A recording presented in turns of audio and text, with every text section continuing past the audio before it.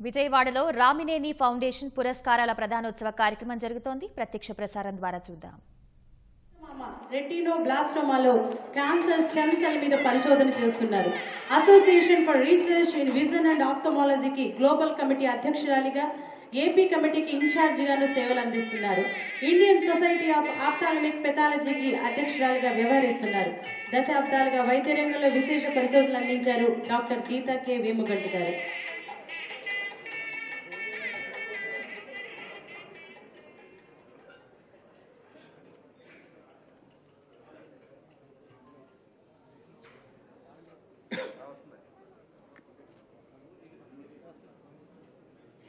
నలుగురు ఎవరైతే ఉన్నారో విశిష్ట పురస్కార అదేవిధంగా విశేష పురస్కారాలకి మరి ఇంతమంది పెద్దలు వారిని అభినందించడానికి అదేవిధంగా ఈ కార్యక్రమాన్ని చూ చూడటానికి మీ అందరికీ కూడా మరొకసారి ధన్యవాదాలు తెలుపుతూ మరి ముందుగా ఈరోజు ఈ రామనేని ఫౌండేషన్కి ఎంతో మొదటి నుంచి కూడా మమ్మల్ని ప్రోత్సహిస్తూ ఎందుకంటే రామినేని అయ్యన చౌదరి గారు ధర్మ గారికి కూడా తండ్రి లేరు. మాకు కూడా నాకు కూడా తండ్రి చనిపోయి ఉన్నారు. మరి మా అందరికి కూడా తండ్రిలాగా చంద్రబాబు నాయుడు గారు మాకు మొదటి నుంచి కూడా సపోర్ట్ చేస్తూ మరి ఆయన నిజంగా చెప్పాలంటే పని విషయంలో రాక్షసుడు అంటారు అందరూ కూడా బయట మాట్లాడుకునేది. అదేవిధంగా నిద్రకి నిచాచరుడు అంటారు. ఎప్పుడూ నిద్రపోడు ఆయన. మమ్మల్ని ఎవరిని నిద్రపోలేవాడు అందరినీ. అదేవిధంగా రైతులందరికీ ఈ రోజున బాంధవుడు. బాంధవుడు ఎందుకంటున్నానంటే sir Arthur Cotton Godavari Dhavaleswaram బ్రిడ్జీలు కట్టిన తర్వాత మన నాగారి సాగర్ శ్రీశైలం నీళ్ళు రాని పరిస్థితుల్లో పట్టసీమ నుంచి పల్లెసీమకు తీసుకొచ్చి నీళ్ళని ఈ రోజున కోస్తాలో రాష్ట్రం విడిపోయిన తర్వాత కూడా ఇది ఎవరు ఊహించరా ఏదో బ్రహ్మంగారు చెప్పారు కాలచక్రం ముందు జరగబోయేది ఏంటి పలానా సంవత్సరాల్లో ఇన్ని సంవత్సరాలు జరుగుతాయని. కానీ ఆయన ముందుగానే ఊహించి రాష్ట్రానికి వచ్చే విపత్తును ఊహించి మూడు సంవత్సరాల కిందటే బాబు మీరు సైలెంట్గా ఉండండి. మూడు సంవత్సరాల కిందటే మరి గోదావరి నీళ్ళు కృష్ణా నదిలోకి తీసుకురావడం మరి ఇక్కడ ఉన్నటువంటి దరిదాపుగా పదిహేను లక్షల ఎకరాలని కాపాడటం అనేది మామూలుమైన విషయం కాదు. ఇది మనందరం కూడా ఈ సభాముఖంగా వారిని అభినందించాలని చెప్పి నేను మీ అందరికీ కూడా మరొకసారి మనవి చేస్తా ఉన్నాను.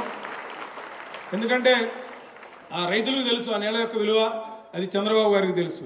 ఈ సంవత్సరం మరి ఆయన మొన్నటిదాకా అన్ని చెరువులు కానీ నదులు కానీ పూజలు చేపిస్తే ఈ రోజున రాష్ట్ర వ్యాప్తం కూడా గత యాభై సంవత్సరాల్లో ఎప్పుడు కూడా పడిన విధంగా వర్షాలు పడ్డాయి.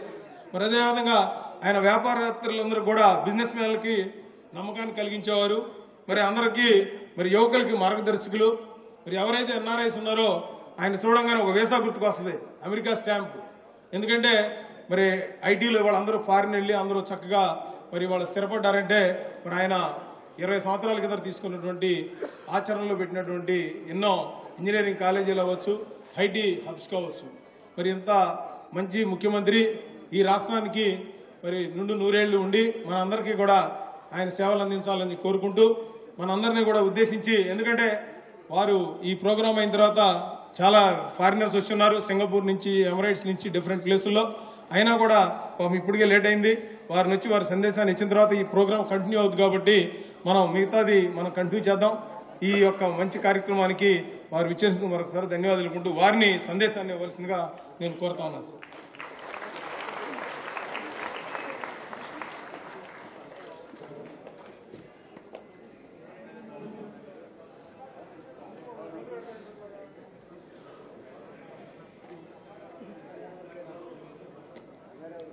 గౌరవనీయులు ఈరోజు రామినేని ఫౌండేషన్ ఆర్గనైజ్ చేసినటువంటి ఈ పు- పురస్కార కార్యక్రమంలో ముఖ్య అతిథిగా విచ్చేసినటువంటి గోవా ముఖ్యమంత్రి గౌరవనీయులు మనోహర్ పరికర్ గారికి ఈరోజు ఈ యొక్క పుష్కరాలు పురస్కారాలు. పురస్కారం అంటే ఒక అవార్డు అంటే ఒక గౌరవం ఇవ్వడం. ఆ గౌరవాన్ని ఇచ్చే సంస్థకు ఒక క్రెడిబిలిటీ ఉండాలి. సెలెక్ట్ చేసే వ్యక్తులు కూడా సమాజానికి ఒక ఆదర్శంగా ఉండాలి. అలాంటి ఉన్నప్పుడే మనం అనుకున్న లక్ష్యాల్ని ముందుకు తీసుకుపోయే అవకాశం ఉంటుంది. ఈరోజు ఇందులో మీరు చూస్తే కేవీ చౌదరి గారు ఇన్కమ్ ట్యాక్స్లో పనిచేస్తూ ఈ ప్రాంతంలో పుట్టి ఈరోజు దేశంలోనే సిబిసి చైర్మన్గా పనిచేస్తున్నారు.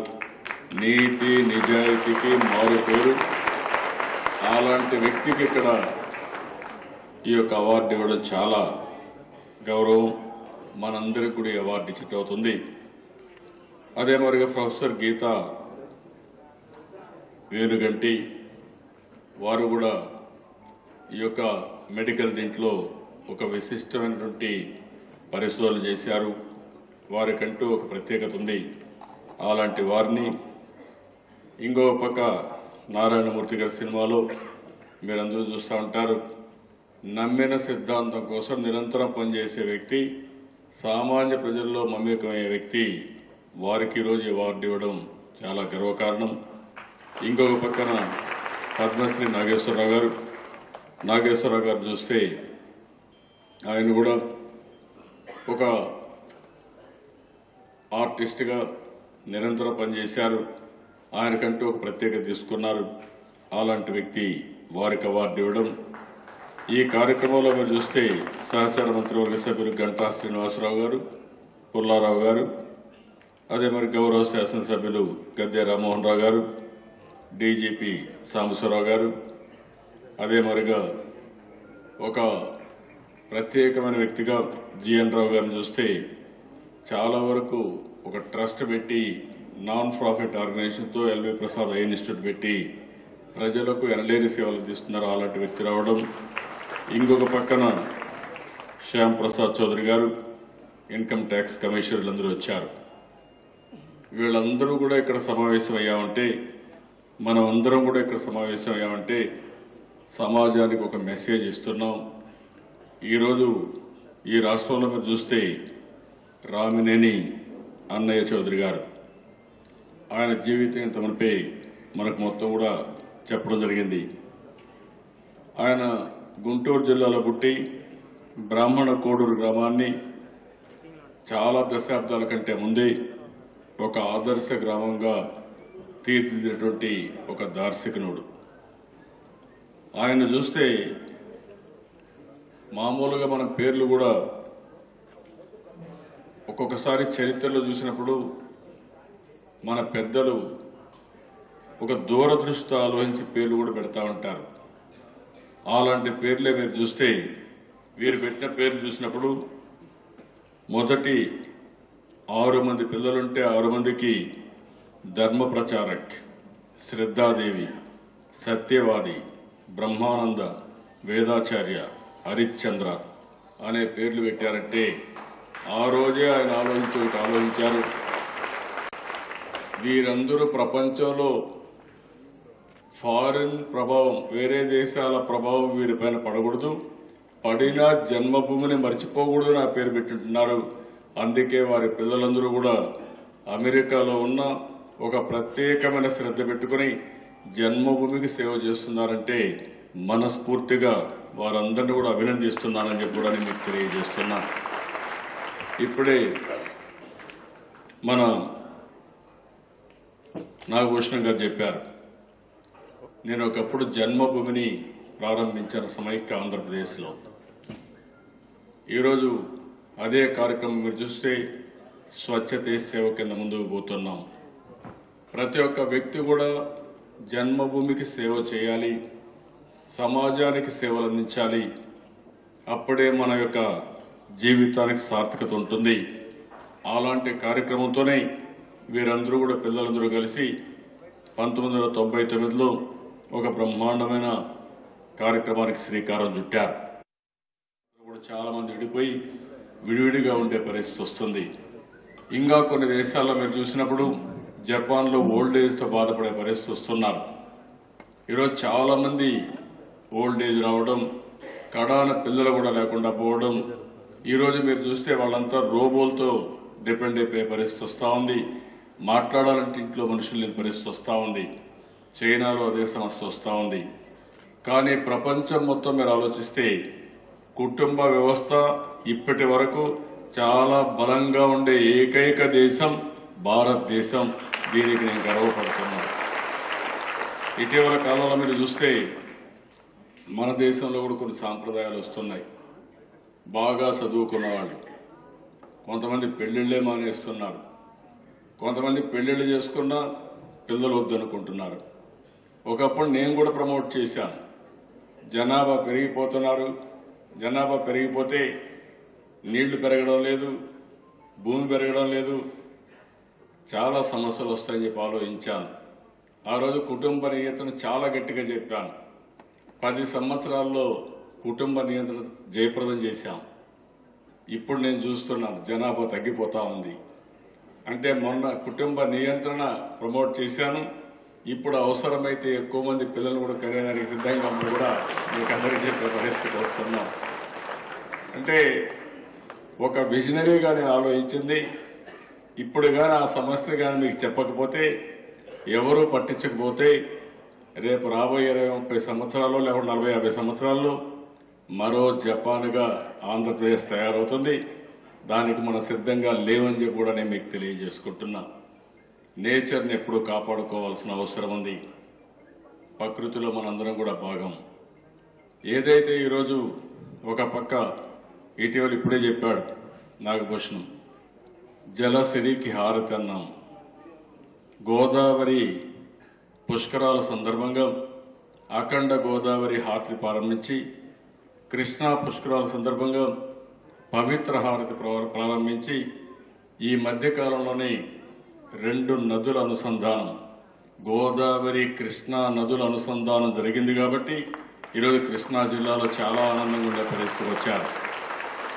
గుంటూరు జిల్లాలో కూడా పుష్కలంగా నీళ్ళు ఇవ్వగలిగాం. అది జరగకపోతే చాలా ఇబ్బందులు వచ్చేటివి. అదే సమయంలో జలసిరికి హారతి పెట్టాం. దానికి కూడా కారణం మీరు ఒకసారి ఆలోచిస్తే నేచర్ని మనం వర్షిప్ చేయాలి. మన పెద్దలు ఆ పని చేసేవారు. ఇప్పుడు మనం అందరం కూడా పూర్తిగా బిజీ వరల్డ్లో పడిపోయి ఎక్కడ చూసినా సెల్ ఫోన్లు ఎక్కువైపోయినాయి. అది కూడా నేనే ప్రమోట్ చేశాను. కానీ రాబోయే రోజుల్లో చాలా సమస్యలు కూడా రాబోతున్నాయి. ఎందుకంటే టెక్నాలజీ పరిమితంగా వాడుకుంటే చాలా సంతోషం కానీ టెక్నాలజీకి బానిసలైతే మాత్రం చాలా సమస్యలు వస్తాయి. అలాంటి సమస్యలు కూడా వచ్చే ప్రమాదం కూడా ఉంది. అందుకనే ఇటీవల కాలం నేను ఆలోచిస్తున్నాను టెక్నాలజీని సమర్థవంతంగా ఎట్లా ఉపయోగించుకోవాలి? యంగర్ జనరేషన్ టెక్నాలజీని దుర్వినియోగం చేయకుండా ఏం చేయాలనో దాన్ని కూడా మనందరం కూడా పేరెంట్స్గా పెద్దవాళ్ళుగా జాగ్రత్తలు తీసుకోవాల్సిన అవసరం ఉంది. లేకపోతే చాలా సమస్యలు వస్తాయి ఇలాంటి సమయంలో మన సాంప్రదాయాలు కాపాడడానికి రామనేని ఫౌండేషన్ ఇలాంటి కార్యక్రమాలు చేయడం చాలా సంతోషం. వారిని మనస్ఫూర్తిగా అభినందిస్తున్నా ఇలాంటి సమస్య ఇలాంటి సందర్భాలు ఇంకా కూడా ఎక్కువ కూడా క్రియేట్ కావాల్సిన అవసరం ఉంది. మనం అందరం కూడా మెకానికల్ వరల్డ్లోకి వెళ్ళిపోతున్నాం. అందరూ బిజీగా ఉంటున్నాం. కానీ అన్ని పనులైన సాయంత్రం ఆలోచిస్తే టెన్షన్ మాత్రం మిగిలే పరిస్థితి వస్తూ ఉంది. లేనిపోని సమస్యలు వస్తూ ఉంటాయి. ఎప్పటికప్పుడు టెక్నాలజీ ఎంత పెరిగినా హ్యూమన్ రిలేషన్స్ కూడా అంతే ముఖ్యం. ఈరోజు మీరు ఒకసారి చూస్తే గోవా సీఎం గారు పరికర్ గారు. పోయిన సంవత్సరం ఆయన పిలిచారు. మళ్ళీ ఈ ఫౌండేషన్ ఈ సంవత్సరం కూడా వదిలిపెట్టలేదు. పోయిన సంవత్సరం రాలేనంటే మళ్ళీ ఈ సంవత్సరం పోయి మళ్ళీ ఆయనతో మాట్లాడితే ఆయన ఎన్ని పనులున్నా గోవా నుంచి ఈ కార్యక్రమం కోసం ప్రత్యేకంగా వచ్చారంటే అది ఈ ఫౌండేషన్ చేసినట్టే మంచి పని. అదే సమయంలో మనోహర్ పరికర్ గారు కూడా పోయిన సంవత్సరం పిలిచారు రాలేకపోయాను ఈ సంవత్సరం రావాలని ప్రత్యేకంగా ఈ కార్యక్రమానికి వచ్చారు. ఎన్ని పనులున్నా వారిని కూడా మీ అందరి తరఫున మనస్ఫూర్తిగా అభినందిస్తున్నా.